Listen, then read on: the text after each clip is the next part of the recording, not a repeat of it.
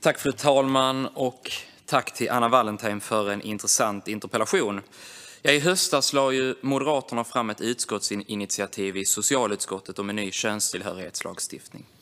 En lagstiftning som togs fram av den förra socialdemokratiska regeringen och som i högsta grad påverkar vårt arbete även i justitieutskottet. Utskottet ska i veckan yttra sig om förslaget. Och I korthet så innebär ju Moderaternas utskottsinitiativ att det ska bli enklare att byta kön och åldersgränsen sänks till 16 år.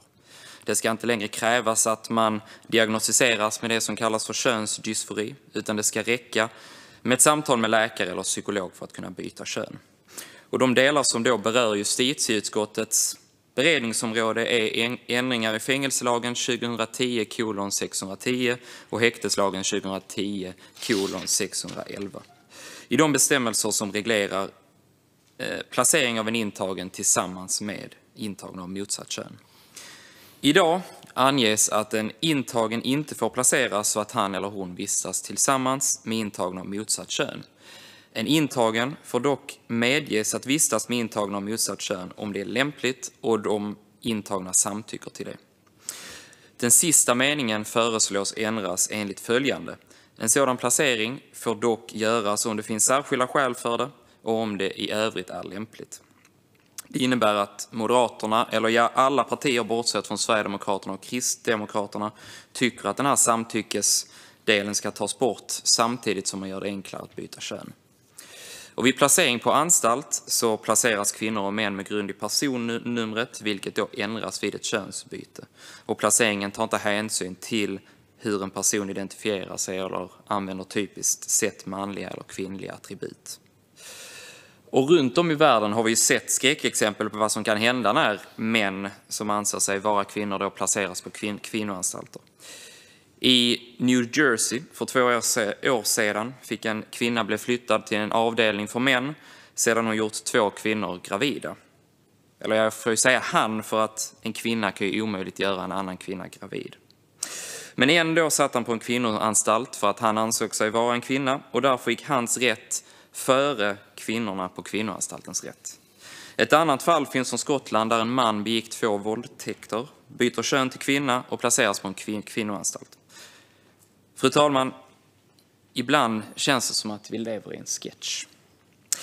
I Sverige placerar vi som sagt kvinnor och män på anstalt med grund i personnumret och placeringen tar inte hänsyn till hur en person identifierar sig.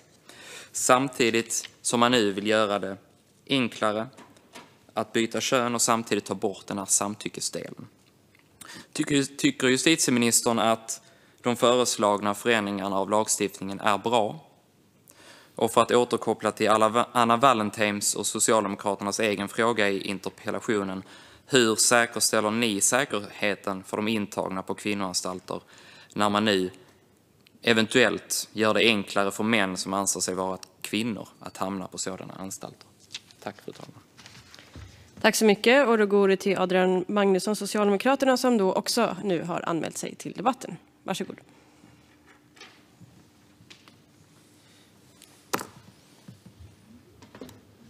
Tack, eh, fru talman. Jag hade egentligen inte tänkt att delta i den här debatten. Jag var med här som någon slags eh, åhörare för att, för att det här är en fråga som berör en av de största arbetsplatserna i min hemkommun, eh, nämligen anstalten Ystad som Anna Wallentheim eh, nämnde i sitt anförande. Och där jag och Anna faktiskt var och besökte eh, den här anstalten tillsammans eh, för ja, några månader sedan. Jag vill egentligen bara nu när frågan ändå är uppe ta tillfället i akt och liksom beskriva den, den mycket svåra situationen som jag upplevde var på eh, kvinnoanstalten i Ystad. Precis som ledamoten Wallentheim sa så var beläggningen stundtals långt över 100 procent. Man fick i stort sett hitta varenda vrå på anstalten för att försöka få in eh, intagna. Och det är givetvis eh, ett bekymmersamt eh, läge. Min uppfattning eh, i de samtal vi hade med personalen är att man var föga intresserad av att det här skulle bli någon slags partipolitisk strid. Nu upplever jag inte att justitieministern för fram det i sitt svar. Men eh, det finns ibland vissa tendenser att de här frågorna ska bli någon slags partipolitisk eh, vad ska man säga, konflikt. Att man ska kasta, kasta diverse saker på varandra och påstå att den ena borde gjort det för länge sedan och sen helt plötsligt är man tillbaka i 1980-talet. Typ, att då minsann skulle man agerat det viktiga är att vi löser den här situationen. Att vi ser till att vi har eh, kvinnoanstalter då av eh, klass eh, 1 till exempel, som ledamoten Wallentheim lyfte. Att se till att vi bygger ut kvinnoanstalterna också. Och att vi har en dräglig situation för alla de som jobbar ute på kvinnoanstalterna. Inte minst då i min hemstad Ystad. Som sagt, det är en stor arbetsgivare och det är många som, många som blir anställda där och många som har blivit anställda de senaste åren. Så jag vill egentligen, som sagt, ta tillfället i akt, lyfta den här frågan ytterligare. Jag tycker att justitieministern lämnar ett, ett svar som ändå visar på förståelse för situationen och ser fram emot att höra justitieministern utveckla sina resonemang i frågan. Tack.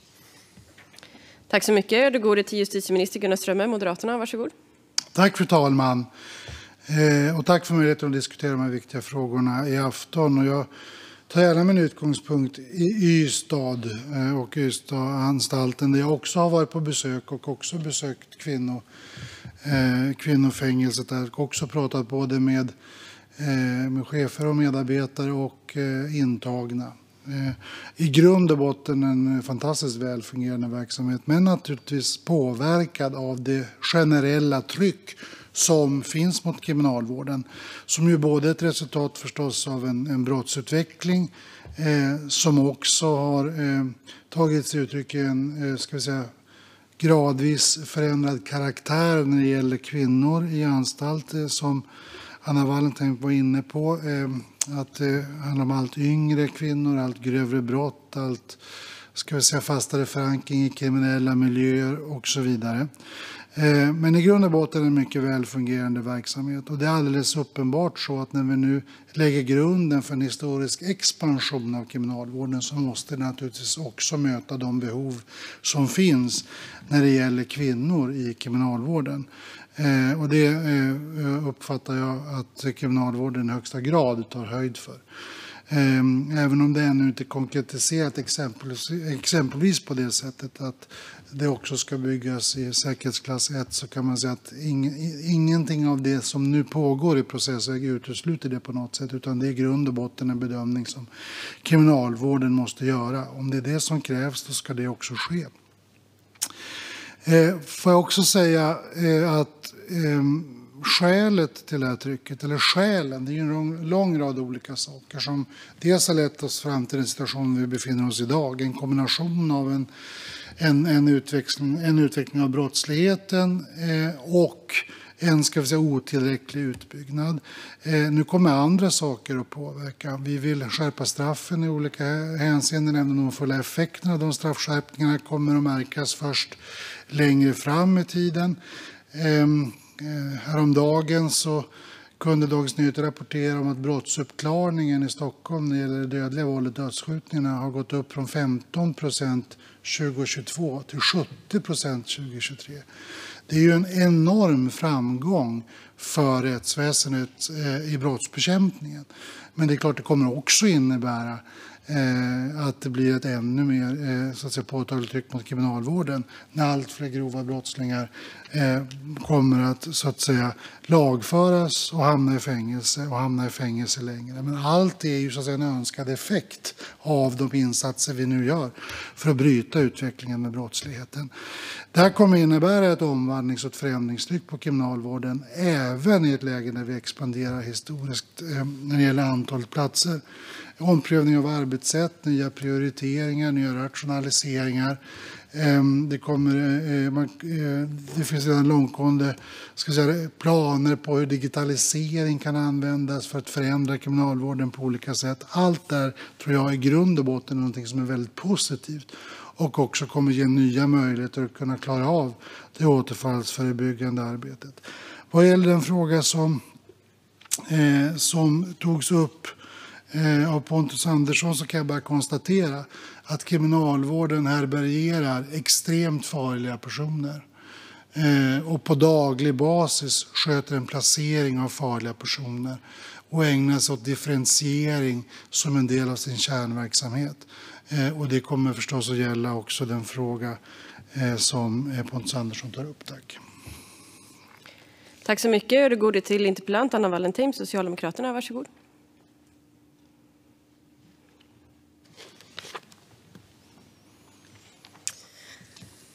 Tack fru talman och tack ministern för svaret. Jag skulle vilja återvända till ett par saker i ministerns första svar som också är det som är ut skriftligt och som jag ser väldigt positivt på, nämligen vikten av att kriminalvården kontinuerligt ska utveckla sitt arbete för att minska risken för återfall i brott. Detta då ministern påpekade att det är ju eller pekade på att vi ska ju få människor att bryta den kriminella livstiden och att det är en av de faktiskt viktigaste brottsförebyggande uppgifterna som kriminalvården också har. Att dömas till ett fängelsestraff har ju många dimensioner. Dels handlar det ju om att det ska vara kännbart för den som begår grova brott att samhället aldrig accepterar den typen av utveckling eller ser mellan fingrarna. Dels handlar det om att våra offer ska få rätt till upprättelse, men det handlar ju också om att vi vill se till att tiden i fängelse också ser till att lyd eller bryta den kriminella livstiden. Men ministern är ju också lika medveten som jag att det sistnämnda blir ju något som tyvärr börjar prioriteras ner. Därför att överbeläggningen på våra anstalter leder ju till en ökad psykisk ohälsa. Det leder till längre inlåsningar för att hantera det praktiska. Det leder till att färre eh, får tid, eller färre tids möjlighet till utevistelse, mindre aktiviteter och färre möjligheter att faktiskt bryta det här mönstret. Hela 65 procent av de anställda på Sveriges anstalter anser att kriminalvården har små möjligheter att klara sitt uppdrag. Detta enligt Sekos rapport från förra året. Det här är en ökning med nästan 100 procent jämfört med motsvarande siffror 2017. Så under bara några år så har siffran radikalt ökat med andelen av personalen som ser att uppdraget inte går att leva upp till. Enligt Seko så slår också krisen väldigt hårt mot deras medlemmars arbetsmiljö och den kommer att slå mot samhället när myndigheten inte klarar sitt uppdrag. För kvinnorna blir det också extra påtagligt när det också nu har kommit fram i diskussioner med personal att intagna inte längre heller kan ha sina spädbarn hos sig. För de som lyssnar som inte riktigt förstår detta eller som inte vet hur det här går till så är det så att intagna har rätten att faktiskt vara med sina spädbarn om det anses vara för barnets bästa. Det här kan till exempel uppstå i situationer när föräldrar har en väldigt kort strafftid, när frigivningen är nära eller när det inte finns någon lämpligare placering för barnet. Och det är ju kriminalvården och socialnämnden i respektive kommun som beslutar om det. Men dubbelbeläggningen gör att kriminalvården själva nu uppger att man inte längre kan stå för säkerheten för spädbarnen. Därför självklart är det så att vi kan inte låta spädbarn vistas på dubbelbelägnade rum, så det finns inte utrymme att ha sina barn.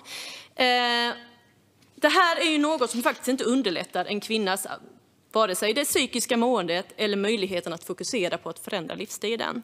Så ännu en gång vill jag lyfta fram hur ser vi till att säkerställa inte bara arbetsmiljön för kriminalvården som själva upplever att man inte kan leva upp till sin, sitt, uppdrag eller för att se till att stärka de intagnas välmående för att se till att man kan bryta med sin kriminella livsstil. Tack så mycket. Tack så mycket.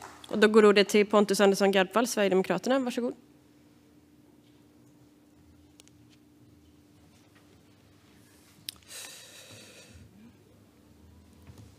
Tack så mycket, fru talman. Eh, jag hör vad eh, ministern säger. Han har fått förtroende för kriminalvårdens arbete. Eh, det har jag, jag också. Men är det verkligen rimligt att den här samtyckesdelen om placering av personer av motsatt kön då tas bort. Eh, och åter för att återkoppla till eh, Anna Wallentheims egen fråga i interpellationen. Eh, hur säkerställer ni säkerheten för de intagna på kvinnoanstalterna när man nu gör det enklare för de, de män som anser sig vara, vara kvinnor att hamna på den typen av anstalter? Vi får helt enkelt hoppas att Sverige inte tvingas uppleva samma situationer som man gjort i exempelvis Skottland och New Jersey. Men det finns ju ett enkelt sätt att undvika situationer som de här och det är helt enkelt att, att män som har fötts som män sitter på anstalter för män och kvinnor som har fötts som kvinnor sitter på anstalter för kvinnor. Och just den här typen av könsbytesdiskussioner har ju kommit att betraktas som en del av något slags kulturkrig och jag, jag vill slutligen understryka att det inte är min intention. Därför att i Sverige har vi sedan länge haft en kultur att vi placerar män på anstalt för män och kvinnor på anstalt för kvinnor. Så jag skulle inte säga att det är jag som driver någon form av kulturkrig utan snarare de som utan snarare jag som försvarar den kultur som har rått. Min uppfattning är att den som bedriver kulturkrig är ju den som vill förändra den rådande kulturen som vi har. Eh, och som tycker det ska bli enklare att byta kön och enklare att hamna på en anstalt för det motsatta könet. Men vad vet jag? Eh, jag kan konstatera att det är en mycket märklig värld vi lever i. Tack fru talman. Tack så mycket. Och då går det till Adrian Magnusson, Socialdemokraterna. Varsågod.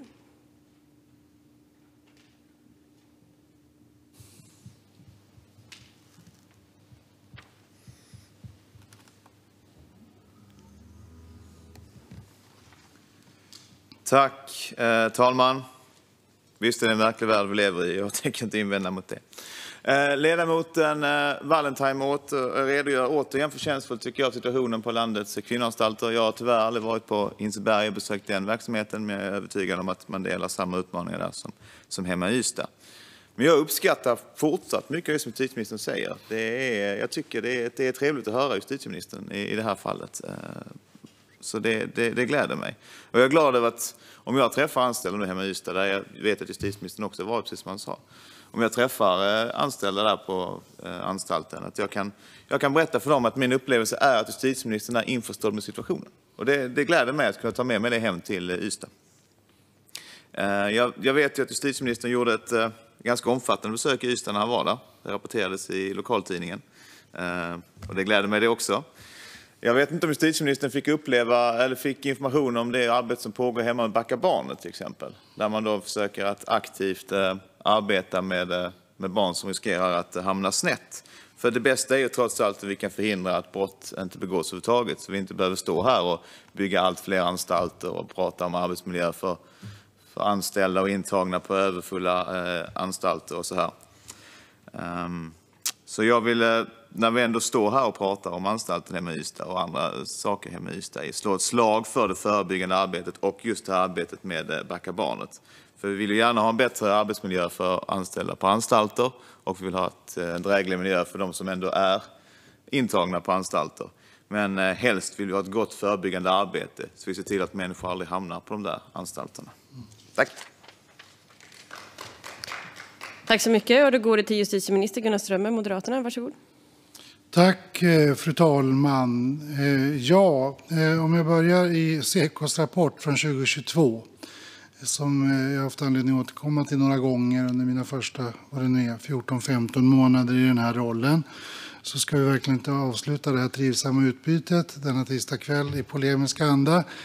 Men det är väl ändå svårt att inte ta fasta på den siffra som Anna Wallentheim redogjorde för, nämligen fördubblingen av eh, ska vi säga, problematiken eh, i kriminalvården mellan 2017 och 2022 som vi får ses vara ett ganska brutalt bokslut över den politik som fördes fram till regeringsskiftet. Och jag uppfattar att eh, när vi gick till väljarna och sökte mandat för att som vi sa få ordning på Sverige tyckte en del att det lät lite anspråkslöst. Men i det låg i väldigt hög grad att få ordning så att säga, på brottsligheten, på rättsväsendet och ge rättsväsendets alla aktörer, inte minst kriminalvården, bättre förutsättningar att, att fullgöra sina uppgifter. Eh, det är ju lite av en atlantångare, det är ingenting man vänder så att säga på en femöring, men jag är övertygad om att det vi gör nu har goda förutsättningar att eh, både på kort sikt hantera ska vi säga, ett krisläge som ju har egentligen ingenting alls att göra med Tidöavtalets eh, straffrättsliga reformer som ju som sagt var ännu inte på plats och ännu inte har fått någon så att säga, effekt på kriminalvården. Men lika fullt måste den situationen hanteras, liksom att skapa långsiktiga förutsättningar för att möta både samhällsutveckling, ökad brottsuppklarning eh, och att fler personer kommer att sitta i fängelse och längre i framtiden. Eh, och I det eh, sammanhanget vill jag eh, också ta fasta på att det inte minst är betydelsefullt att säkerställa att kvinnor som sitter i fängelse får göra det under rimliga villkor. Jag skulle också bara, eftersom det har nämnts i ett par inlägg, ta upp det här med dubbelbeläggning. Därför jag tror vi bara måste ta in att det är det nya normala. Det är det i hög grad redan idag, men naturligtvis kan man väl säga då hanterat under lite mer krävande omständigheter eftersom eh, dagens anstalter inte så att säga, är byggda eh, med sikte på dubbelbeläggning medan däremot allt som nu planeras eh, och är på gång kan ju planeras med den utgångspunkten att man ska dela cell. Mitt intryck är faktiskt inte att dubbelbeläggningen innebär ett generellt problem vare sig för Eh, för eh, trygghet eller säkerhet eller möjligheten att bedriva en meningsfull återfallsförebyggande verksamhet. Jag får snarare intrycket att i det tryck som är nu så är det snarare att så många personer på gemensamhetsytor innebär ska säga, problem exempelvis vad gäller trygghet och säkerhet och integritet. Eh, och att det är väldigt individuellt hur man upplever att dela cell med någon annan. Även där sker det ju ett mycket metodiskt arbete från kriminalvårdens sida. Eh, att också se till att rätt personer så att säga, delar cell med varandra och så vidare. Jag tror att det finns ett, ett positivt ska vi säga, utvecklingstryck också i det läget. Och ser vi på det så att säga, ett internationellt perspektiv är det ju inte alls så att säga, någonting konstigt. Tvärtom kan man nog säga att i många andra länder så förekommer det att ännu fler personer delar cell. Eh, så att jag tror att det här kommer vara en, del, en nödvändig del av den förändring som nu sker. Men det är klart att det alltid kommer finnas individuella behov av olika slag som måste kunna tillgodoses också i ett sånt ska jag säga, normalläge. Allt ifrån psykosociala problem eh, till exempelvis eh, möjligheten för, för kvinnor som är intagna att träffa sina barn. Eh, och det är klart att kriminalvården måste ha med en kapacitet att hantera den typen av individuella behov också i det nya normalläge som vi ser framför oss. Tack.